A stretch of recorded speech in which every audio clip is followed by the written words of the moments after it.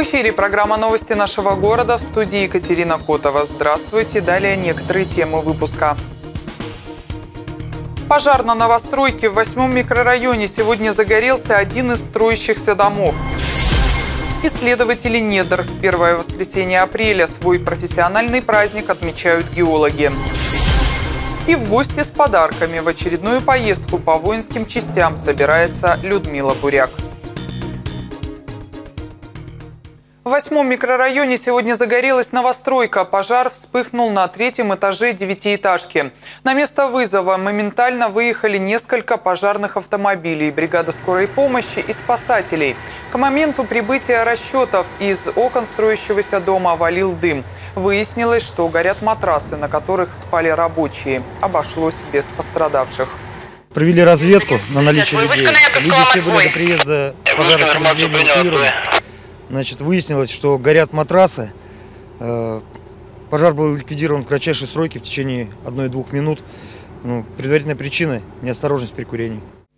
Фонд содействия реформированию ЖКХ приостановил финансирование программ в 42 субъектах Федерации, в том числе и на Ямале. Дело в том, что управление госкорпорации на днях завершило проверку отчетов регионов по итогам 2012 года. Оказание финансовой помощи приостановили в регионах, которые допустили различные нарушения. Так, помощи фонда полностью лишились 19 субъектов. Еще три региона пока не получат деньги на проведение капремонтов. 20 регионов, в том числе и наш округ, лишились поддержки в части переселения из ветхого и аварийного жилья. На официальном сайте фонда сообщается, что Ямал нарушил сроки и параметры реализации программ. Добавлю, в течение четырех месяцев регионы-штрафники могут устранить нарушения, иначе полученные от госкорпорации средства придется вернуть. Между тем, директор Департамента энергетики и жилищно-коммунального комплекса Ямала Михаил Гилев в среду на заседании Ноябрьской городской думы говорил о том, что в этом году Фонд содействия реформированию ЖКХ выделяет сотни тысяч рублей как раз на переселение ямальцев из ветхого и аварийного жилья. А вот программу по капремонтам фонд отодвигает на второй план. Красноречивее всего об этом говорят цифры. Средства фонда, или точнее программа фонда по э, проведению капитального ремонта на данный момент сворачивается. То есть мы видим, что э, по сути средства стремятся к нулю. В основном фонд сосредоточен сейчас на программе переселения из ветхого аварийного жилья. То есть ну, фонд голосует деньгами. Для сравнения могу сказать, что э, средства фонда на этот год на капитальный ремонт порядка 20 миллионов рублей всего лишь на весь округ. А, при том, что а, программа переселения из ветхого аварийного порядка 400 миллионов рублей. Вот для сравнения просто понятно, а, какие приоритеты сейчас стоят перед фондом.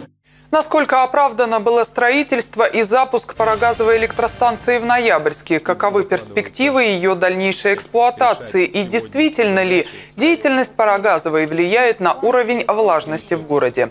На эти и другие вопросы сегодня в рамках рубрики «Актуальное интервью» сразу после новостей ответит Станислав Карапетян, генеральный директор компании «Интертех Электро. Новая генерация». До пяти лет лишения свободы грозит жителю Ноябрьска, который, будучи пьяным, несколько сотен метров провез на капоте автомобиля инспектора ДПС. Напомню, это произошло 18 февраля. Патрульный автомобиль ГИБДД преследовал белую девятку – водитель которой не реагировал на требования полицейских остановиться. В какой-то момент машину занесло, и она остановилась. Инспектор направился к «девятке», но в этот момент нарушитель резко нажал на газ.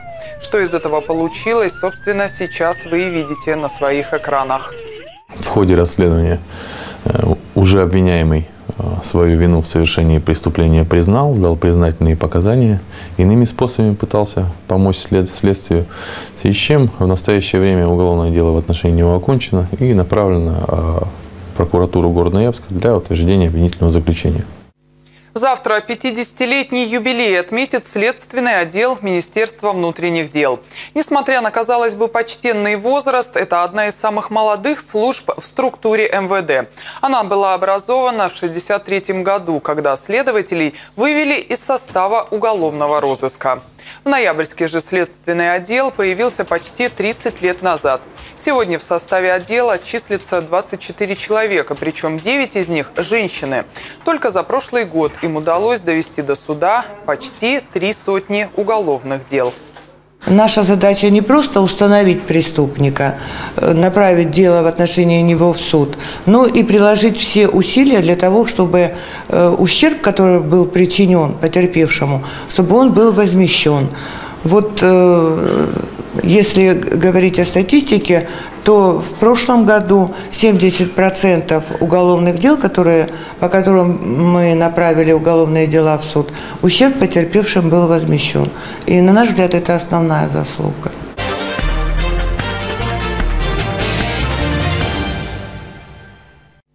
Партия «Единая Россия» проводит процедуру праймерис в тех регионах, где 8 сентября предстоят выборы высших должностных лиц. В 2013 году партия предлагает регионам четыре модели внутрипартийного предварительного голосования. При этом право выбора остается за регионом. Как отметил депутат Тюменской областной думы, председатель политсовета ноябрьского отделения партии «Единая Россия» Сергей Белкей, в этом году «Единая Россия» максимально упростила участие во внутрипартийном голосовании для кандидатов и простых граждан. Теперь член партии может принять участие в предварительном голосовании в качестве кандидата без согласования с партийными органами, заполнив заявление. Процедура голосования приобретает все более открытый и демократичный вид, вовлекает в партию энергичных, неравнодушных людей, которые пользуются авторитетом и готовы к активным действиям. Совет директоров «Газпромнефти» рассмотрел и утвердил программу инновационного развития компании до 2020 года. Для достижения стратегических целей «Газпромнефть» использует инновационные технологии, предлагаемые ведущими отечественными и международными компаниями, а также разрабатывает принципиально новые решения совместно с ведущими российскими научно-исследовательскими организациями и вузами. Кроме того, приоритетными направлениями инновационного развития являются разработка и внедрение технологий увеличения нефтеотдачи на существующих месторождениях, эффективной разработки трудноизвлекаемых запасов и добычи нефти из нетрадиционных источников – что касается переработки, то в компании проведена большая работа по повышению ее технологического уровня. По сложности заводов определяется по индексу Нельсона. «Газпромнефть» является одним из лидеров России, а по уровню выхода светлых нефтепродуктов занимает первое место среди российских компаний. При этом производимое топливо соответствует самым высоким экологическим стандартам Евро-4 и Евро-5. Внедрение инноваций – обязательное условие для повышения конкурентоспособности любой современной компании, роста ее производственных и финансовых показателей, сокращения воздействия на окружающую среду и улучшения качества жизни людей. Формирование программы и активное использование технологических новинок создаст «Газпром» нефти прочную базу для достижения целей, определенных в стратегии до 2020 года частности, почти пятая часть добычи компании будет обеспечиваться за счет применения инноваций, а показатели наших перерабатывающих предприятий будут находиться на уровне лучших западных компаний, отметил председатель правления «Газпромнефти» Александр Дюков. Исследователи недр Первое воскресенье апреля свой профессиональный праздник отмечают геологи. Эта дата была выбрана не случайно. Окончание зимы знаменует начало подготовки летних полевых работ и экспедиций. Об одной из самых романтичных профессий расскажет моя коллега Оксана Зайчукова. Ярослав Матюшенко – нефтяник в третьем поколении. Сначала в топливно-энергетическом комплексе трудился его дедушка, а потом дядя и родители – так что сегодняшний геолог со стажем уже в детстве знал, что его профессия будет связана с нефтегазовой отраслью. Еще когда был э, в детстве, в начальных классах учился, была такая возможность попасть на работу с отцом. Отец брал себя с собой на месторождение. Вот, в принципе, еще с тех лет, видя большую буровую, слыша все эти звуки, все операции проводимые там, э, в целом как бы понравилось. А, значит, после окончания школы особого затруднения в дальнейшем значит, пути по жизни не испытал. Правда, в экспедиции Ярослав Матюшенко не ездит. Говорит, что и на месте работы хватает. Ведь под его ответственностью находится более тысячи пробуренных скважин на трех месторождениях – в Спорышевском, Среднеитурском и Западно-Ноябрьском. И сегодня задача геологов – это разработка, а также контроль и эксплуатация существующего нефтяного фонда. У нас есть данные скважины на определенный период, за определенный период, это на 1 января 2013 года. По каждой скважине расписан режимный дебет, процентов вводнения, тоннаж, сколько каждая скважина в суточно выдает нам, и динамика пластового давления. Еще одна цель, которая стоит перед геологами, это увеличение дебита углеводородного сырья. Сегодня на Среднеитурском месторождении ведется разработка новых скважин. Кроме этого, геологи, словно волшебники, дарят недействующим скважинам вторую жизнь. Выводим скважины из неработающего фонда.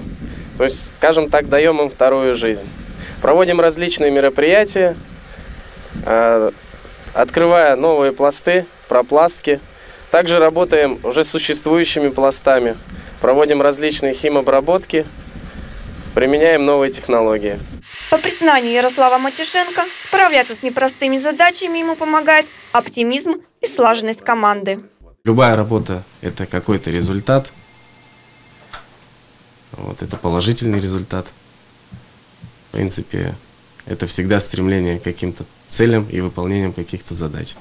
С хорошим коллективом, с хорошим настроем это всегда, в принципе, получается. Говорят, что геолог – это не просто профессия, а образ жизни. И пусть сегодня непроходимые леса, тяжелые рюкзаки и песни у костра сменились на уютные офисы, компьютеры и настенные карты – Люди этой специальности по-прежнему важны и значимы.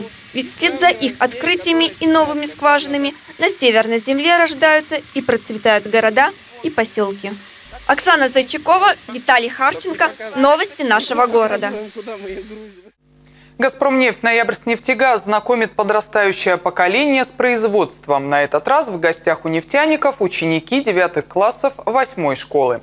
Их провели на установку предварительного сброса воды и газа и даже позволили заглянуть в самое сердце промысла – аппаратную. Здесь школьникам рассказали о том, что весь процесс подготовки нефти и газа автоматизирован и даже показали, как все это выглядит на практике. Несмотря на сильный ветер и снег, школьники с интересом слушали специалистов и задавали вопросы, которых оказалось немало, и это не случайно. Уже скоро заканчивается учебный год, и девятиклассникам придется определиться, по какому профилю они будут обучаться дальше. Возможно, после этой экскурсии кто-то из них решит продолжить обучение в классах технической направленности или поступит в один из нефтяных колледжей. Экскурсия мне очень понравилась тем, что э, очень интересно рассказывали о том, как добывается нефть, как э, она закачивается, как, э, как разделяется газ, как разделяется нефть, как вода. Но вот больше всего меня, меня поразило то, вот как вот было очень интересно было бы интересно узнать, как это все создавалось, как все трубы, э, бочки и так далее.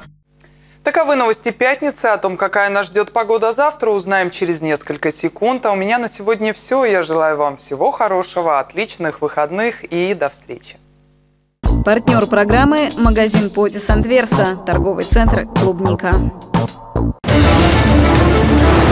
Когда есть надежный ориентир, путь становится проще. Когда знаешь, что ты не один, дорога кажется короче. На любой АЗС «Газпромнефть» по всей России вы найдете качественный бензин и качественный сервис, чтобы двигаться дальше с новым запасом сил. Сеть АЗС «Газпромнефть» – надежный ориентир.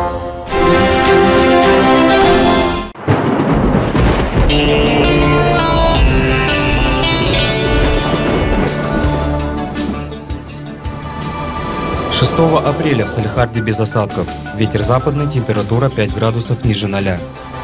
В Муравленко преимущественно без осадков. Ветер северо-западный до 3 метров в секунду. Температура 3 градуса мороза.